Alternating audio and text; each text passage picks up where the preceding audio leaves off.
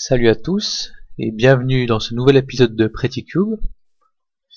Euh, contrairement euh, à ce que j'ai annoncé dans le dernier, j'avais prévu de, refaire l'usine euh, à arbres, mais le modèle que j'avais n'est pas n'est si efficace que ça. Euh, pour l'instant, j'ai un nouveau modèle, mais il est que je suis en train de, de créer, mais il est il est pas terminé. Ce sera avec les slime blocks. Donc en attendant, en fait, j'ai décidé de, commencer un nouveau projet. Euh, je vais créer une, euh, une, enfin, une ou plusieurs plutôt, des arènes PVP.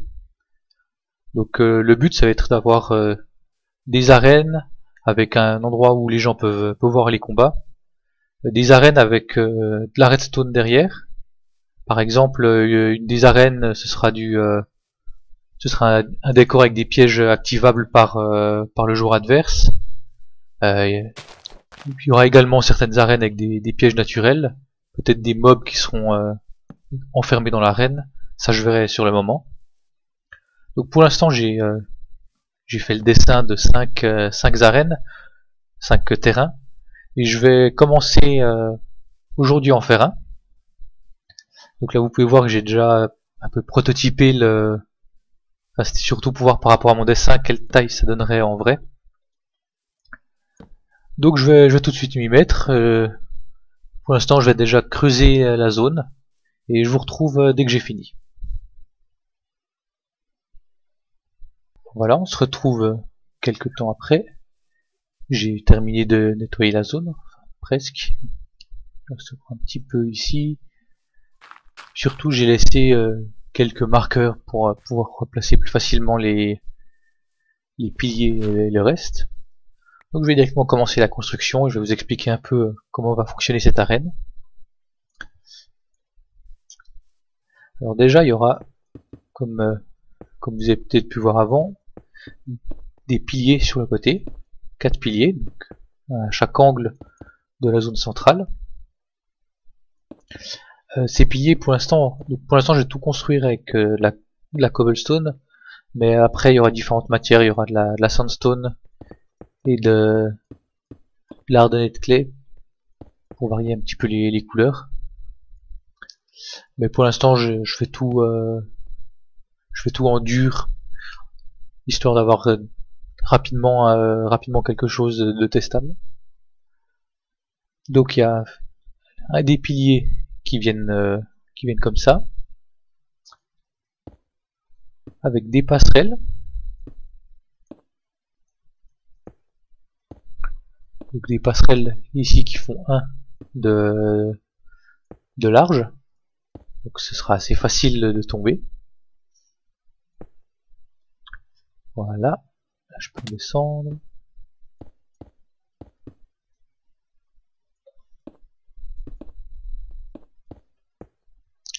Et en fait l'intérêt de ces passerelles c'est qu'après ces deux petites passerelles sont reliées entre elles par une, euh, une passerelle un petit peu plus large. Et juste au centre, il y aura un dispositif qui permettra d'inonder le, le, sol de la salle avec, euh, avec de la lave. La lave qui viendra des piliers justement, il y aura des dispensers à lave dans les piliers. Donc il y aura un intérêt stratégique à, à monter et aller, euh, c'est à l'endroit c'est que j'ai laissé ce bloc, aller jusqu'à ce bloc pour euh, activer la lave et espérer tuer son adversaire ainsi. Sauf que ce sera pas, pas si simple vu que l'adversaire pourra nous tirer dessus avec des flèches ou, euh, ou venir lui-même euh, au corps à corps, il y aura il y aura différentes stratégies possibles. Là les deux premiers piliers sont faits, je vais pouvoir faire les deux autres.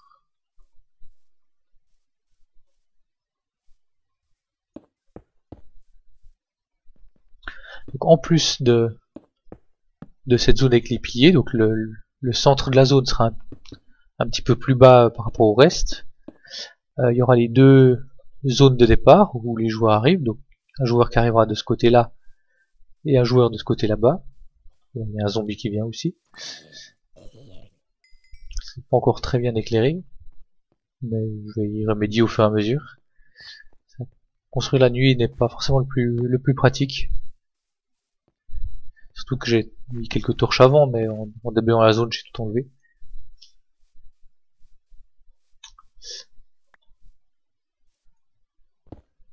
Alors, les piliers.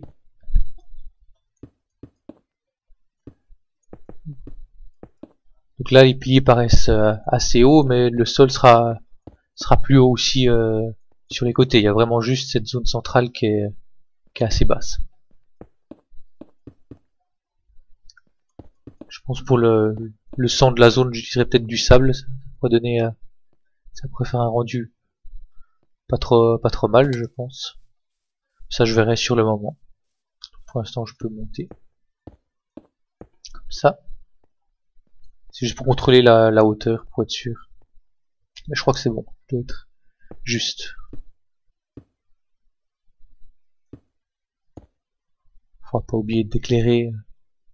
Là, pour l'instant, en fait, je vais éclairer un petit peu euh, le sommet de ces zones.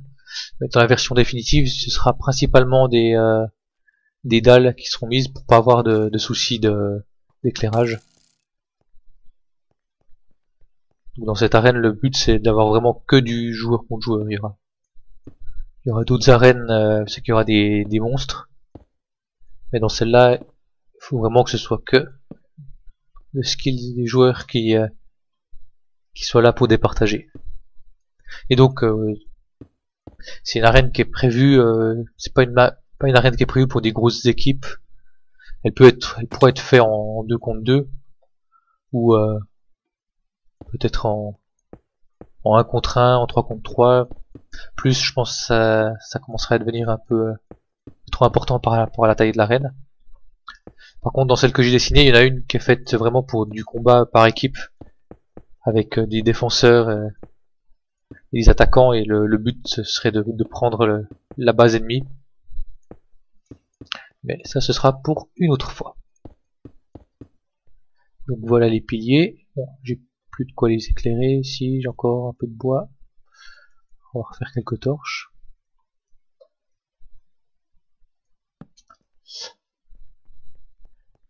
Donc voilà la partie avec les passerelles. Ici, c'est une passerelle qui est un peu plus épaisse,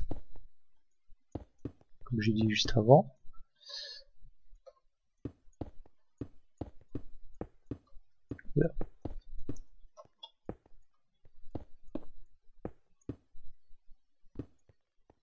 Je vais contrôler que ça joue au niveau de la taille. 1, 2, 3, 4, 5, 6 blocs de ce côté. 1, 2, 3, 4, 5, 6. C'est bon. Donc j'ai mes piliers comme ça. Ensuite, il y a la partie pour accéder au sommet des piliers.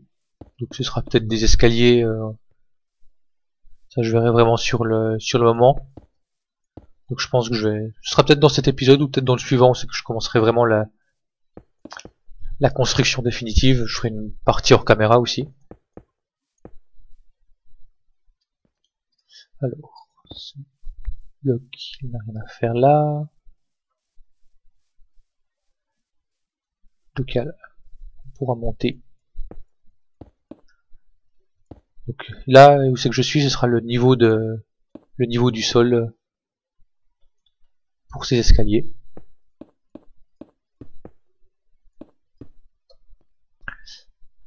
Et donc les murs viennent comme ça. Voilà, ça coupe, il y a vraiment un morceau des piliers qui apparaissent, euh, qui apparaissent au dehors. Et donc là, j'ai directement creusé en fait euh, un de plus pour pouvoir euh, remplacer après le sol par quelque chose d'un peu plus joli. On ce zombie avant qu'il vienne perturber ma construction. Alors ensuite, euh, est-ce que j'ai fait trop haut? Ça fait une hauteur de 1 et 2. Non, donc normalement le sol est à cette hauteur là. Ici c'est un peu trop haut.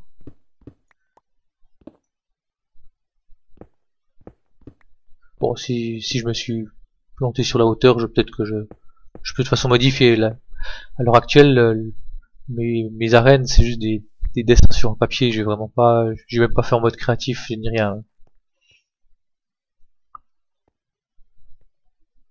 Oula, bah dis donc. Faudrait que je me mette euh, en sneak pour éviter un peu de tomber, ce serait mieux. Voilà, donc là, ici en fait, j'ai la bonne hauteur de sol. Ce qui me permet de faire euh, ce petit prolongement qui va jusqu'au bord. Pour l'instant, je vais laisser euh, creux en dessous. Ça pourra être utile euh, pour, pour placer une partie de la machinerie redstone. après, vu que c'est un serveur survival, j'aurais pas accès aux commandes blocs, c'est un peu dommage, mais il y a quand même moyen de faire des, choses très sympathiques. Allez, donc j'ai fait quand même les piliers un, un de trop haut, je crois. C'est pas grave, je vais, je vais laisser comme ça. Ça donnera quand même, ça aura quand même son effet. Oui, ça, ça dérange pas. Bon, ce qui me dérange, c'est que j'utilise mon armure par contre. Déjà qu'elle commence à être un petit peu épuisée, légèrement abîmée.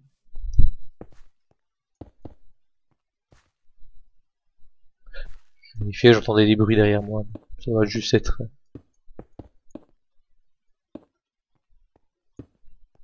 Va juste être la nature du sol.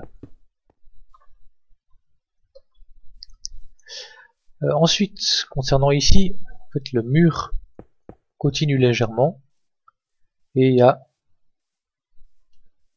voilà trois trois de hauteur entre après entre le bord de bord de l'arène et le mur extérieur. là aussi pour l'instant ce sera un mur comme ça, mais après le but ce sera d'avoir un, mur avec un pattern donc en plusieurs euh, plusieurs épaisseurs. Mais pour l'instant on peut laisser un mur très basique.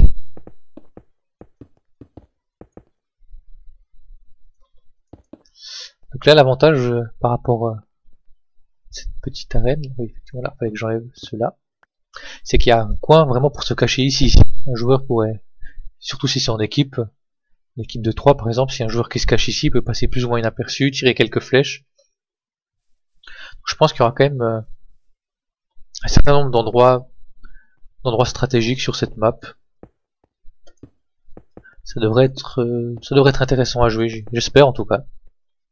Je me suis un petit peu inspiré des, des maps, euh, des arènes PVP sur, euh, sur certains jeux en ligne, sur certains MMO. Même si je fais pas beaucoup de, beaucoup de PVP sur World of Warcraft par exemple, j'ai quand même fait un peu d'arène, puis il y a toujours ce principe de, de jouer aussi avec les, hauteurs. C'est pas juste euh, une arène toute plate. Donc il y a vraiment un décor qu'on peut qu'on peut exploiter et qu'il faut exploiter pour euh, pour être bon.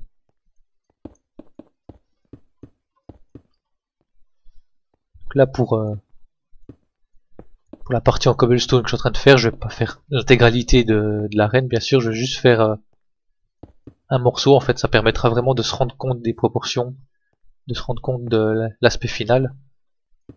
Mais je vais pas tout construire euh, tout construire en cobblestone pour tout devoir euh, redétruire plus tard.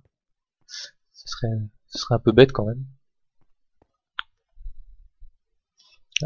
avec les habituels bugs de lumière. Bon, c'est pas grave. Voilà, je vais aussi faire de ce côté la partie un peu en escalier.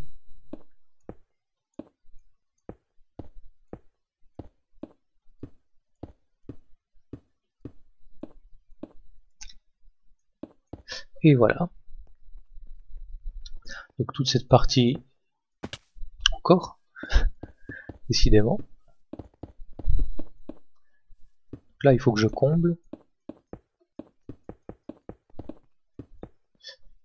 Et avant, j'ai dit que j'allais mettre des, dalles par terre.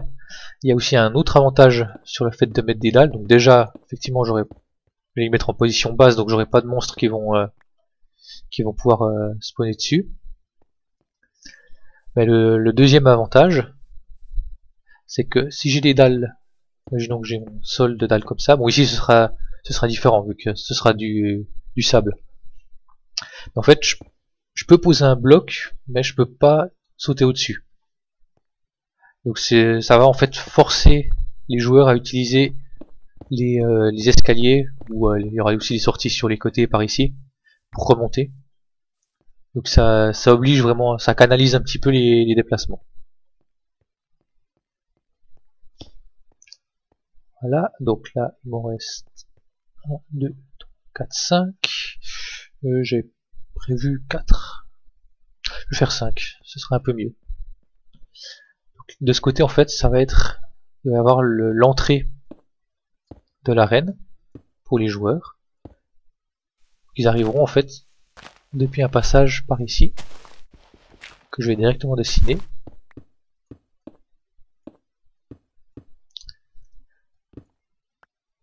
Ce sera un système avec euh, tout simplement une porte de, de, slime block. Donc on peut, facilement la casser. C'est surtout pour euh, pour avoir l'effet de la porte, euh, la porte qui s'ouvre et qui se referme ensuite, avec les joueurs qui se retrouvent prisonniers dans l'arène.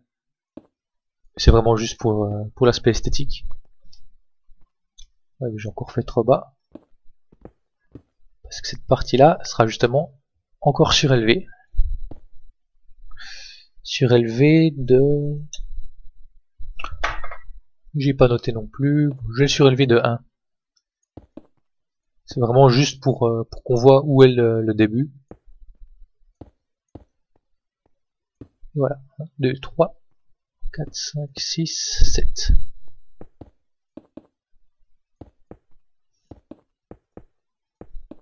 Donc depuis ici, on, aura une bonne vision. Par contre, il y aura du verre juste ici, de la vitre. Donc euh, comme ça, quand on entre dans l'arène, on sera, euh, on sera pas directement sous le feu de, sous le feu de l'ennemi. Par contre, on pourra descendre d'un côté ou de l'autre et commencer à, commencer à attaquer.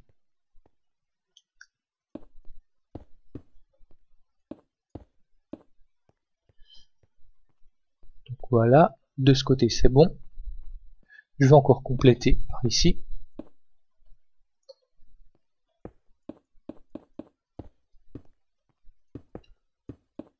Comme ça.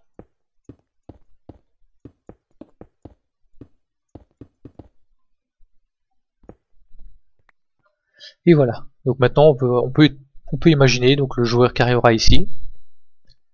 Bon, c'est encore le vide de ce côté, mais qui pourra choisir de quel côté il, commence le combat. Imaginons qu'il commence ici.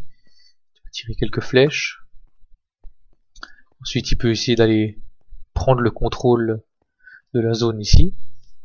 Pour l'activation de la lave en fait, le principe que je vais utiliser, ça va être un, bouton en bois qui va être par ici au-dessus, donc parfaitement à la verticale au-dessus, dans une petite alcôve, donc de manière à ce que si on soit en bas, on pourrait éventuellement tirer dessus, mais ce sera pas forcément pas forcément facile. Voilà, où est retombée la flèche, j'ai pas vu. Puis après, de toute façon, euh, si on est en dessous, il n'y a pas forcément d'utilité euh, à faire monter la lave, ce serait un peu bête. là je vais directement noter, enfin marquer euh, de ce côté c'est bon, par contre celui-là il est pas bon. Je vais marquer en fait le la taille du bassin central.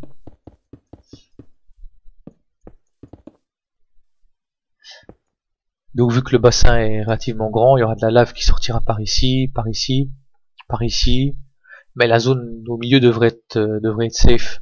Je pourrais éventuellement peut-être en rajouter, euh, peut-être mettre un, autre dispenser, euh, peut-être dans le sol, ça pourrait être ça pourrait être intéressant. Ça je verrai sur le moment.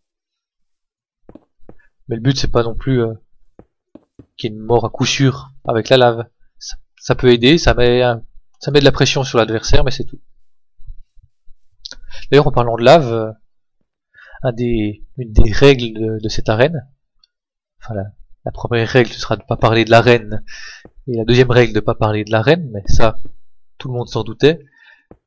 Mais les, autres règles ce sera de laisser son équipement dans les vestiaires. Donc il y aura un vestiaire avant d'entrer, pour pour les combattants. Donc ils pourront laisser leur, tout leur équipement, il y aura de l'équipement à disposition, pour que tout le monde soit vraiment sur un pied d'égalité. Donc il y aura des, armures, armures en cuir et, des épées des épées en bois et des arcs. J'aurai pour les arcs je pense que ce sera des arcs tout simples, euh, pas, pas infinity ni rien. Comme ça, s'ils sont détruits euh, dans la lave, ben finalement c'est pas c'est pas trop grave. Ce sera vraiment que du euh, que du matériel simple. Les armures qui seront teintées, il y aura deux couleurs d'armure par côté. Donc voilà, je vais contrôler où j'en suis dans l'épisode on se retrouve. Euh, il s'est passé environ deux jours depuis euh, la partie précédente de la vidéo. Donc j'ai un petit peu travaillé en hors caméra. Je vais tout de suite aller vous montrer tout ça. Et euh, je vais vous montrer et conclure l'épisode vu que j'ai déjà un peu plus d'une vingtaine de minutes de vidéo. Ça devrait être suffisant. Donc on passe vers mon, mon beacon, mon beacon avec des blocs de diamants.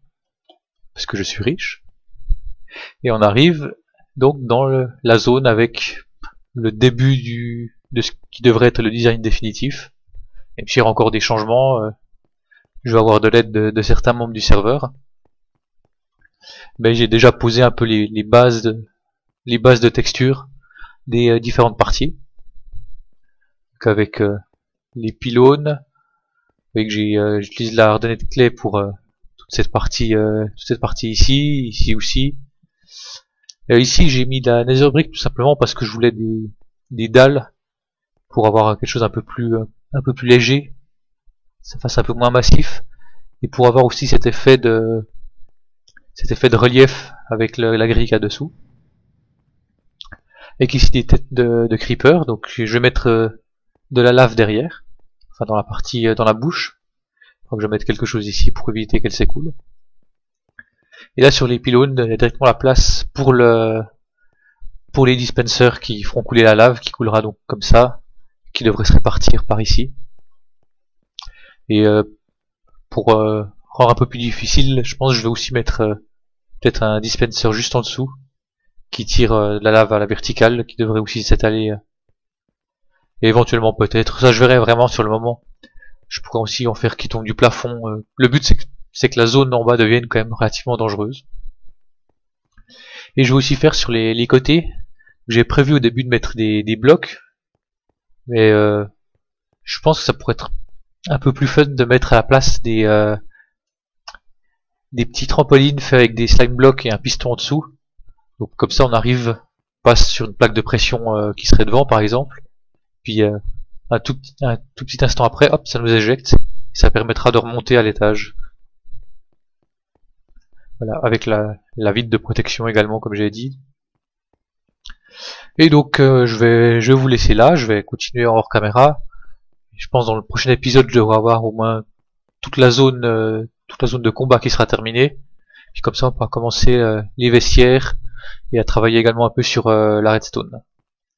Donc si la vidéo vous a plu, n'hésitez pas à me laisser un commentaire. vous pouvez mettre également un pouce bleu. Euh, vous pouvez également me suivre sur Twitter, j'ai mis le lien de mon Twitter dans la description. Et sinon, euh, je vous retrouve, euh, donc ça va être mardi prochain, pour où je reviens au rythme normal des épisodes, pour la suite de Pretty Cube, ou alors jeudi ou vendredi pour soit du braid, soit une surprise. Bye bye